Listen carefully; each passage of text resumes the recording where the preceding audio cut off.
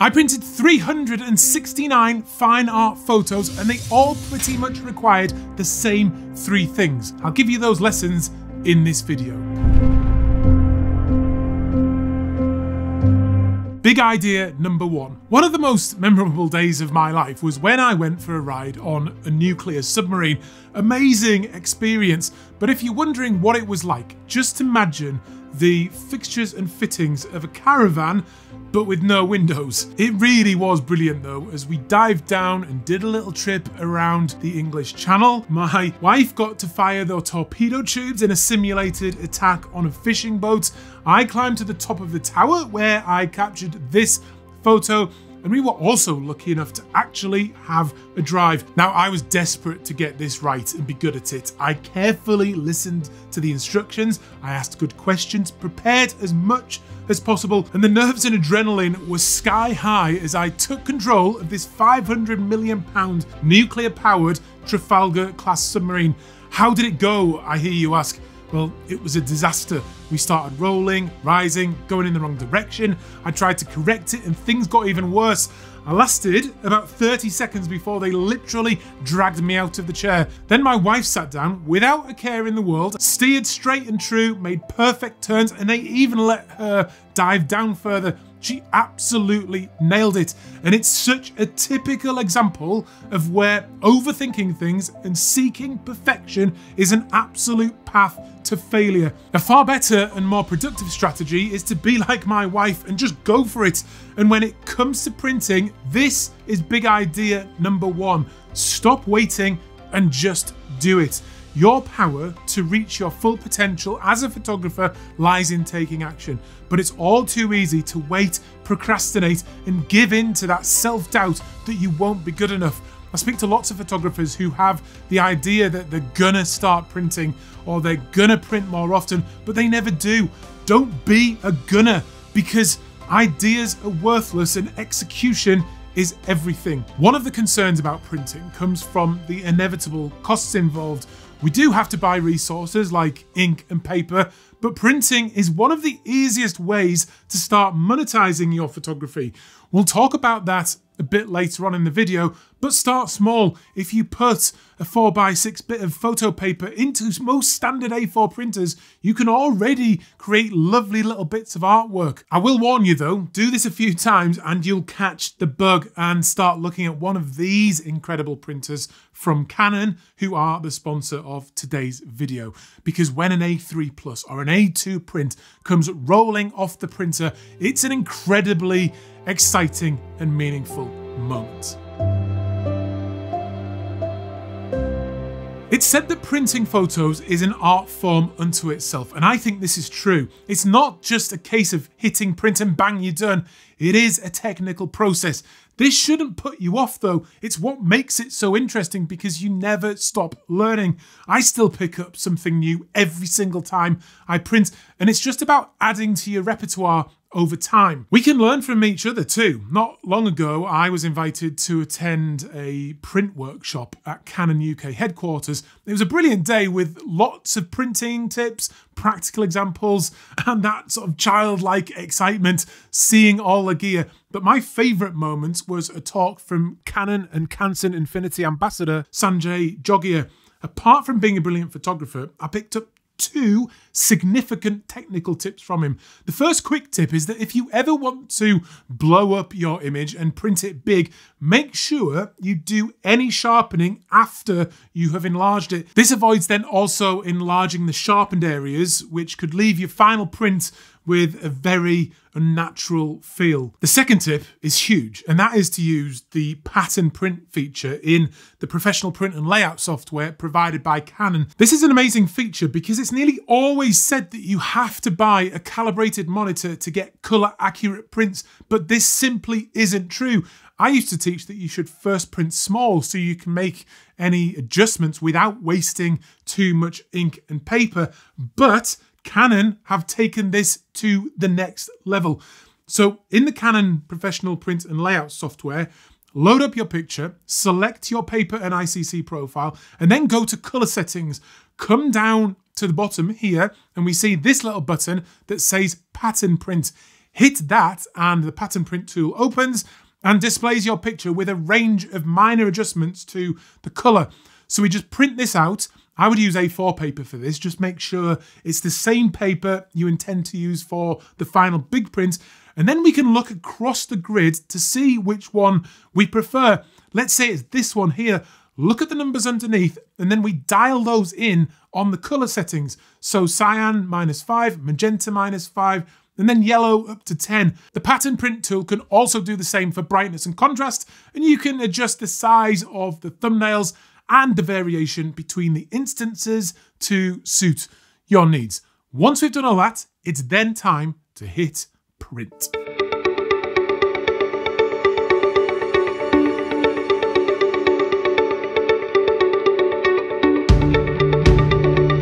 It's always so exciting when the print starts to come out and you start to see your digital image come to life as it feeds out of the printer. So exciting, and I never ever will tire of it.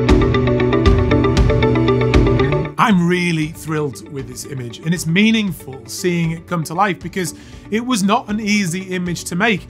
I was stood on the edge of this cliff in the middle of a storm, trying hard not to let the Canon R5 here blow into the sea. In the end though, seeing this print in the physical form, all that effort feels totally worthwhile. If you like the look of the Canon and Canson Infinity workshop that I attended, why not come to the next one being held at the Canon showroom in Birmingham. There are two dates available on either the 22nd or the 23rd of May 2024, and the best part about this one is that I will be there giving a talk. So if you want to come along, hear me speak, hang out over lunch, get a couple of A3 plus prints done, and be given a pack of paper from Canson Infinity, then hit the link down below. And if you use the offer code FirstManPrint, you'll get £20 off, making it very good value for money. Overall, I think the technical aspects of printing can be just broken down into a few simple steps that you can sort of then expand on as you do more of your own printing. I've covered all of these in detail in this video here, but size is the first thing. How big do you want your prints to be? The Canon Pro 200 and 300 produce A3 Plus, which is a lovely size uh, once it's framed and makes a beautiful piece of artwork. I use the Canon Pro 1000 here, and once you've experienced A2 size, it's hard to go back. Check this video out here, where I compare all three of these fantastic printers. Paper choice is important. Do you want a matte finish for your images? This works well for black and white or these types of woodland scenes. Full gloss is great for highly saturated images like my water drop photography, but I most often use semi-gloss papers and I now pretty much exclusively use Canson Infinity papers and they just work perfectly with the Canon printers. My new favourite is this Baryta Prestige 2, and it's pretty much the most premium paper I've ever experienced. Canson also supply you with ICC profiles for your printer. These let your computer simulate on the screen how the image will look once printed, which helps get accurate brightness and colour.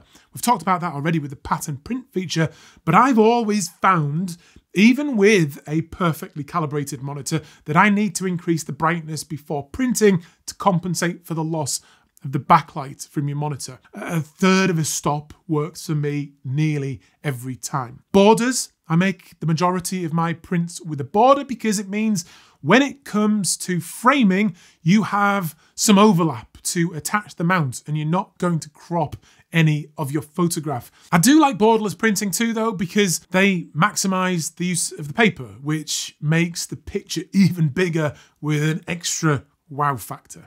Software, I do all my printing from Lightroom Classic because I like being able to keep my print files organized in a collection as proofs. I then use Canon Professional Print and Layout as a plugin to make the actual print, but this also works with Photoshop and as standalone software, so you can use any image editor you like. Adam, what do you do with your prints? I get asked this a lot, so let's come at this from a couple of different angles, but spreading them all over the floor of a studio to make a good thumbnail is not a recommended use case. Growing up in the northeast of England, one of my photography heroes was Joe Cornish, who I imagine most of you will have heard of, and he's famous for his landscape photography in the area around where I grew up. I've since had the privilege of getting to know Joe and have worked with him several times, and he's always been incredibly good to me. But one thing he said that stood out amongst all others is when he's out in the field with his camera, he's not making pictures, he's making prints. I adopted this strategy several years ago now, and I feel like it's brought about the single greatest improvement I've had to my photography.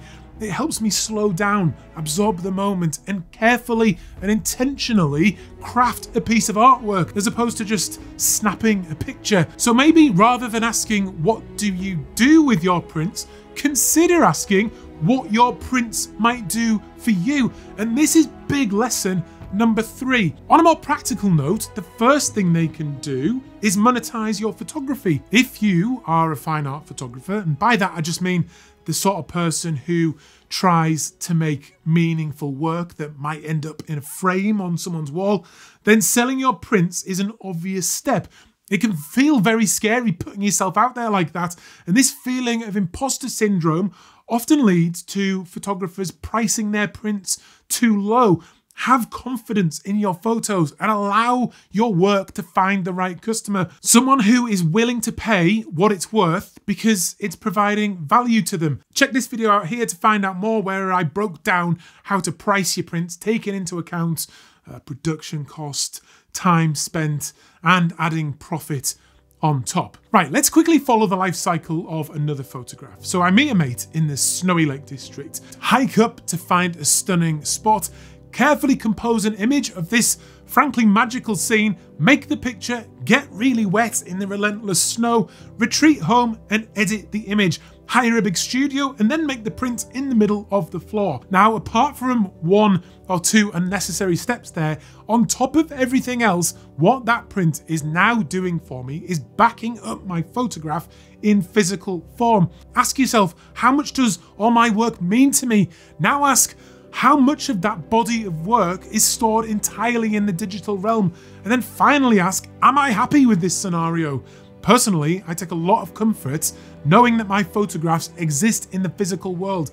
I keep these ones in a couple of A2 art boxes and have this kind of romantic vision of my great grandchild finding them in a cupboard one day in the future, dusting off the box, looking through them, getting just a little bit of insight into who their great granddad was.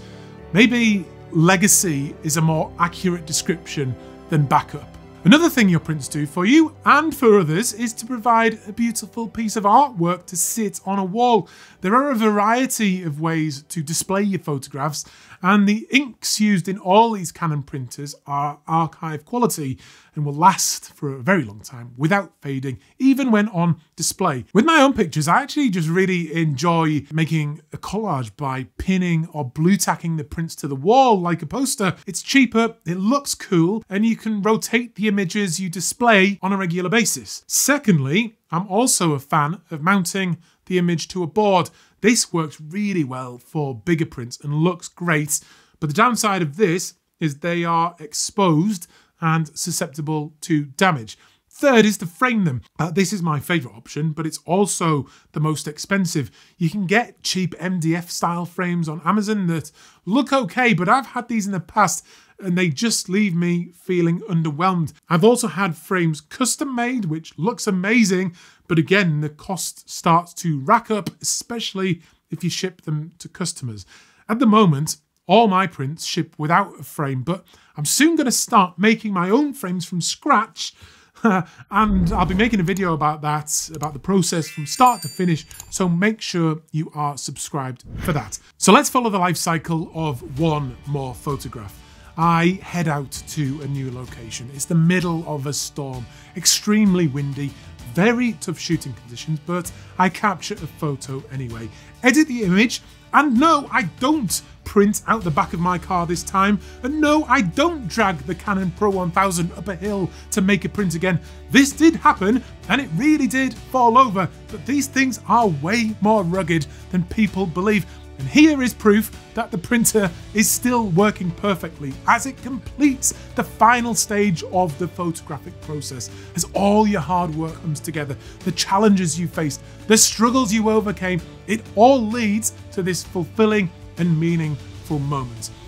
if you enjoyed this video, why not click here to watch the craziest photography project I've ever done, or click here to watch the Canon printer shootout and see which one is right for you. Hope you enjoyed it, and I'll see you on another video very soon.